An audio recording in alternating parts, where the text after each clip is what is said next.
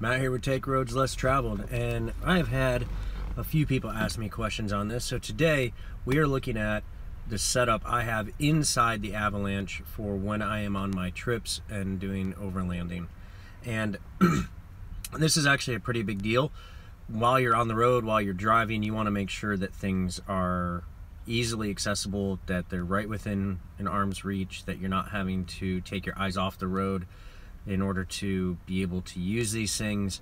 And if you do have to take your eyes off the road, that it is for the briefest of moments. So uh, I try to make sure that I have everything set up that way, and it's something that it's um, it's just important. You don't want to be reckless. You don't want to be careless because it's not only your life that's at stake, but it's also the lives of others and their equipment as well and yours. So it's something to to really take into consideration when you set up your vehicle on how you have everything laid out as to where it's going to be so that you can make sure it is in the best and safest area. So let's head inside the Avalanche and take a look. So inside the Avalanche, for my setup, I have four key components. The first being a simple NATO mount. This is a magnetic mount for your phone and it just keeps it tucked down here kind of out of the way but still right within hands reach for me. Now I have my phone down here because I don't use my phone as my primary GPS. That is saved for my iPad, which I'll get to that in a second. The phone is simply for phone calls and for listening to music through the stereo. With phone calls, all I do is I just have it go straight to speaker, so I'm still hands free. And eventually, this factory unit will get changed out for a Bluetooth one, and then it'll be fully hands free because it'll be automatically connected to through the stereo. So, second aspect is communications on the trail. So, I use currently a CB, which I'd like to change out and upgrade. But right now, I have a CB unit. It's just a little Cobra handheld unit, and it just mounts right there. It's again, it's right there within hands reach. It's real easy to grab. And then I have the uh, all of the wiring and everything for that, the coax, all ran underneath the carpet to the back of the cab, and then up through the rear sail panels that then attaches to the antenna on the roof. It's pretty easy setup, very basic. The third aspect I have is a power inverter. And I have that on the side of the center console down here. I know you guys can't see it. It's just a real small power inverter uh, by Everstart. It's got two USB plugs and then one normal 12 volt plug in it.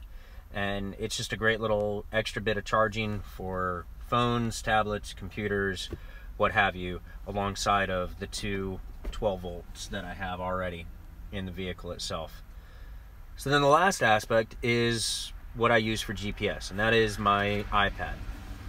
So it is a standard iPad. It doesn't have a GPS chip in it. So in order to have GPS, I have a Bad Elf GPS unit that plugs right into the lightning connection and you can get it for both a lightning connection and for a micro USB and then the charging cable I can just run right down to the inverter and it will charge both the Bad Elf and the iPad together as far as software I tend to really enjoy using Gaia GPS you can see here I have it up right now and this shows where I am down in Portsmouth Virginia but all of these lines are routes and tracks that I've built into my account on Gaia. And what that does is that allows me to save all these routes so that while I'm driving along, it will track me as to where I'm at. And it lets me see very specifically where I'm wanting to go.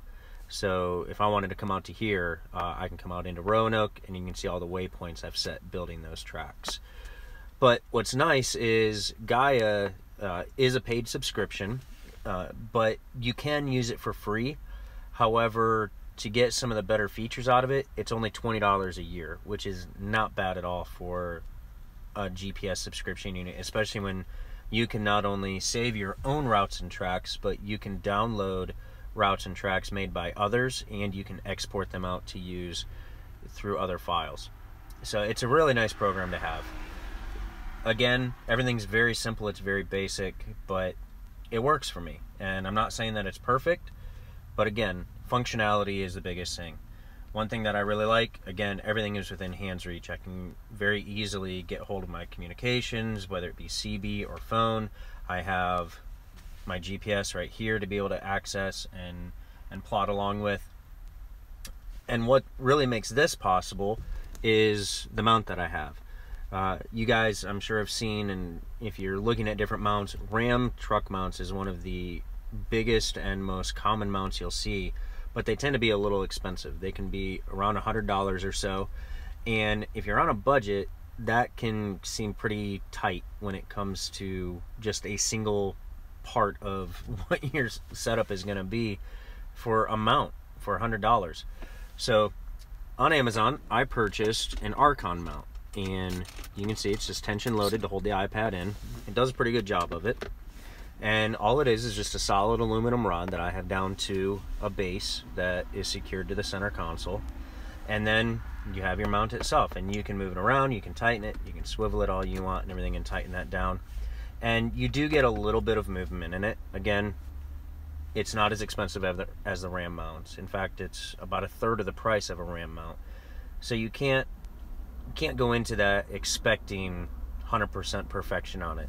So I'll just show you a little bit here. So once I have this in here, you can see there's still some movement there, but it's not terrible.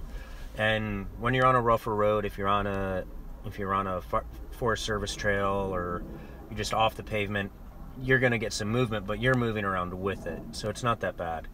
And then on the road, it tends to be really fine. It's good and stable. So this is just the basic setup I have, and I hope it I hope it helps you guys just to see what you can do on a on a fairly easy, cheap budget.